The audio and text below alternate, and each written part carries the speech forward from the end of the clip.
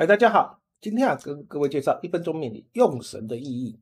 很多人呢，哦，在抓八字用神的时候，哎，我几岁到几岁是我的用神啊？他这个用神呢，其实是时间的意义。但是呢，你只要在那边等时间的话，那各位可能呢，离你还有十几年、二十几年，那你就慢慢等吧。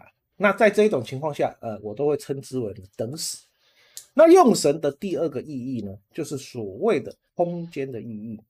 你时间要十年、二十年以后，那你为什么不从现在开始做起呢？就是从空间开始做起。你需要什么元素，在这时候我赶快生活上补足我所需要的元素。那它是什么食神？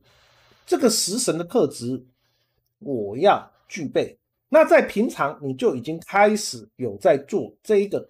空间上的取运的时候，其实各位，就算你在衰运，也不会太差，甚至小有成就。那一旦等到时间的用神一到的时候，那各位是不是啊，更能够让你一飞冲天啊？所以呢，各位不要等时间改运，就从现在开始，看看你的用神是什么，在你的生活里面帮助。今天就跟各位分享到这边，大家假如喜欢我的影片，欢迎大家帮我按赞、关注、订阅、分享，并开启小铃铛，这样有最新的影片，你就可以随时接收到通知。